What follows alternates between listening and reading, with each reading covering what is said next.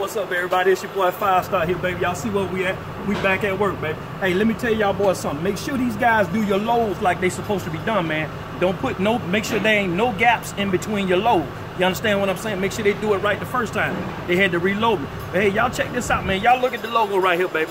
Make sure your business is, is actually a business, man. Brand your business. Make sure it's how it's supposed to be, baby. And you're gonna be all right. Check this out. Another thing. Don't chase success, baby. If you make yourself valuable, baby, they gonna pay for you. I guarantee you this. This your boy Five Star. We're gonna finish dropping this low. We're gonna do what we gotta do, and we're gonna holler at y'all here.